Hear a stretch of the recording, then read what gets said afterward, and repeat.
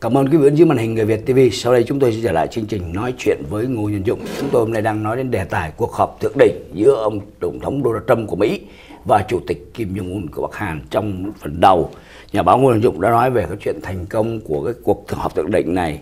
Ông Kim được lợi cái gì, ông Trump được lợi cái gì, vân vân và vân vân. Thì bây giờ chúng ta đi lại cái chính sách ngoại giao giữa Hoa Kỳ và Bắc Hàn trong hơn 6 thập niên qua kể từ năm 1953 tới giờ sau cái cuộc đình chiến thì thưa ông chính sách của ông Trump đối với Bắc Hàn so với các đời tổng thống trước của Mỹ có gì khác nhau, có gì đặc biệt? Dạ, cái đặc biệt là ông Trump đã gặp được cái lãnh tụ Bắc Hàn. Vâng. Đồng ý gặp một lãnh tụ Bắc Hàn. Trong khi đó các đời tổng thống khác thì không bao giờ nghĩ đến chuyện đó. Vâng. Nghĩa là họ vẫn mô tả những cái lãnh tụ Bắc Hàn như là cái thứ đồ không thể nào mà uh, ngồi ngang hàng với mình được. Vâng. Thì bây giờ ông Trump đã làm được cái điều mà ông ấy muốn là ngồi ngang hàng với ông Un. Thế nhưng mà cái kết quả của cái cuộc họp thượng đỉnh vừa qua đó thì thực ra nó không khác gì kết quả những cái lời hứa mà Bắc Hàn đã đưa ra đối với các vị tổng thống Mỹ trước, Trước đây. đây, dạ. Dạ. Và từ trước đến giờ đó thì không phải đây là lần đầu tiên Bắc Hàn hứa giải giới vũ khí nguyên tử. Vâng. À, cái bản thông cáo chung Trump và Kim vừa rồi đó cái điều quan trọng nhất đối với lại ông Trump là ông Un nói rằng đồng ý giải giới vũ khí nguyên tử hoàn toàn.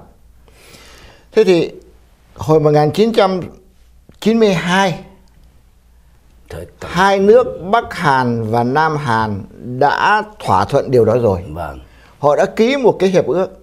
Ở trong đó đó là họ hứa là không thí nghiệm không sản xuất bom nguyên tử không nhận và tàng trữ bom nguyên tử của các nước khác mang đến nước mình. Thế thì Bắc Hàn còn hứa là cùng với Nam Hàn là không làm cái công việc gọi là tinh luyện chất uranium đến cái mức có thể làm bom.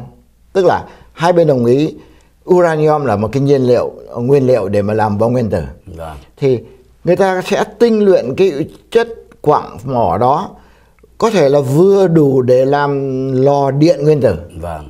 mà muốn làm bom nguyên tử đó thì phải làm thêm nhiều bước nữa Vâng.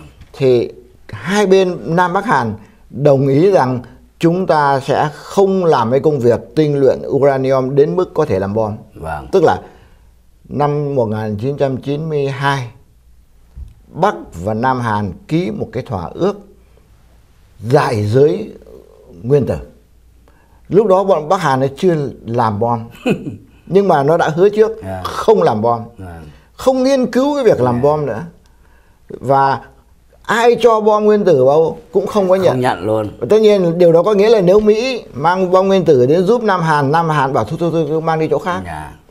Thì đấy là cái lần có lẽ lần đầu tiên mà Bắc Hàn nói chuyện giải giới nguyên tử. Vâng. Thì năm 1995 Quốc hội Mỹ đã làm một cái đạo luật để buộc ông tổng thống à, ông tổng thống thời đó là ông Clinton, Clinton, dạ. à, là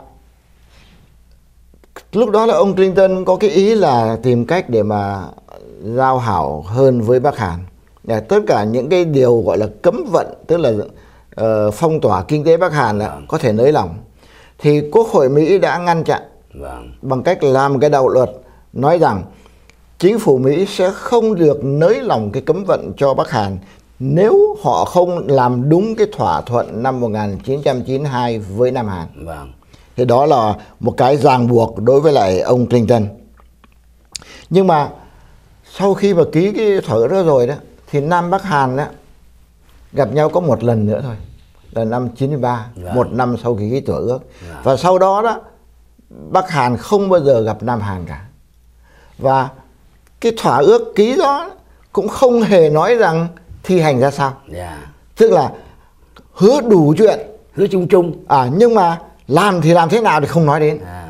tức là không ai tin được là ờ, bên Nam Hàn bên Bắc Hàn ký rồi họ đều theo cả Vâng. thành ra là cuối cùng đến năm 2002 tức là bao nhiêu 10 năm Vâng. mười sau năm. khi ký cái hiệp ước 92 đó thì cả Nam Hàn, Mỹ và Nhật Bản đều kết luận rằng 10 năm qua Bắc Hàn không hề theo cái thỏa ước đó. Ăn gian, nói chung là ăn gian. họ vẫn tiếp tục nghiên cứu để làm bom nguyên tử. Vâng. Thì đấy là cái thời thời ông Clinton. Dạ.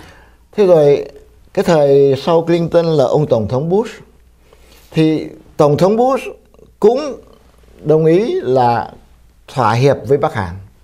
Thì có hai lần Mỹ đã gọi là ký một số những cái hiệp định ờ, ở cái cấp thấp chứ không phải là cấp ông tổng thống. Vâng. Nhưng mà giữa hai nước vào năm 2002 và sau đó lại tiến thêm một bước nữa là vào năm hai còn năm 2000 um, 2015 Vâng. à, xin lỗi 2005 Lẻ năm. Dạ. thì một điều tiến bộ của cái hiệp ước 2005 so với hiệp ước 2002 và 1992 đó là ông tổng thống Bush là ông yêu cầu Bắc Hàn đồng ý giải giới vũ khí nguyên tử và cho thanh tra đến Quốc. coi. Vâng. À cái đó là một cái mà ông Bush là ông ấy ăn chắc. Vâng. À, không có phải giống như là Nam Hàn ký Bắc Hàn xong rồi ai muốn làm gì thì làm. Dạ. Ông Bush ông bảo ok tôi đồng ý ký với anh, tôi sẽ giảm bớt ờ, phong tỏa kinh tế Vâng. Và ngược lại anh ngưng cái tất cả chương trình bom nguyên tử và cho thanh tra đến coi tận nơi. Vâng.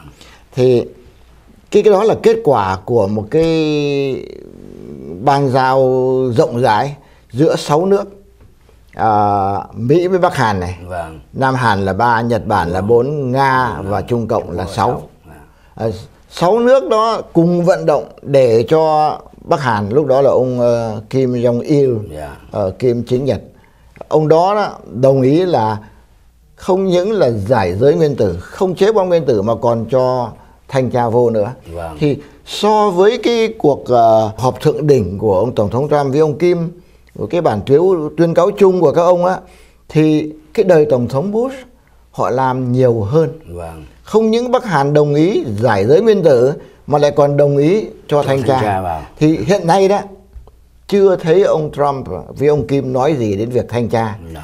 Có thể là trong vòng độ mấy tháng nữa người ta sẽ nói đến chuyện đó và có thể Bắc Hàn cũng đồng ý cái chuyện là ok cho thanh tra vô nhưng mà kết quả ra sao chúng ta chưa biết. Vâng và xin quý vị đừng rời màn hình TV Việt TV chúng tôi sẽ trở lại chương trình.